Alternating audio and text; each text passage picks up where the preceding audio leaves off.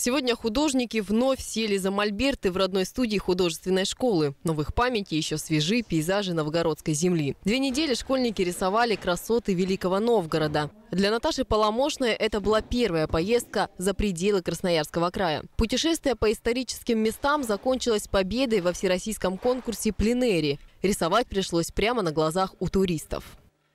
Очень много туристов, китайцев, к примеру, которые подходят, начинают смотреть твои работы. И, как бы ты не понимаешь, о чем они говорят, но как-то я не знаю их реакцию. И всякие эти монастыри, особенно они очень такие старые, мне очень понравились, как особенно они выглядят изнутри. Мне было удивление, как там все вообще сохранилось.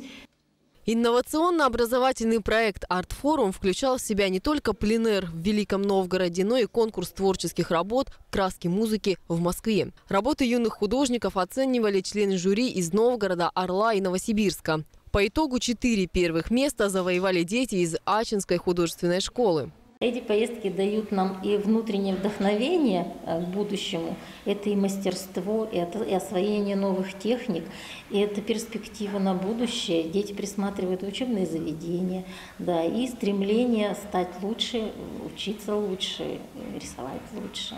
Рисовать лучше школьники действительно научились. В Москве они освоили новые техники изобразительного искусства, познакомились с современными художниками. Обязательная часть образовательной программы арт-форума – посещение выставок, музеев, архитектурных и исторических достопримечательностей. В своих картинах дети отразили мощь и величие городов России, увидеть которую смогут и земляки. А осенью в Ачинске будет организована выставка работ юных художников. Кристина Лешина, Дмитрий Шевцов. Новости.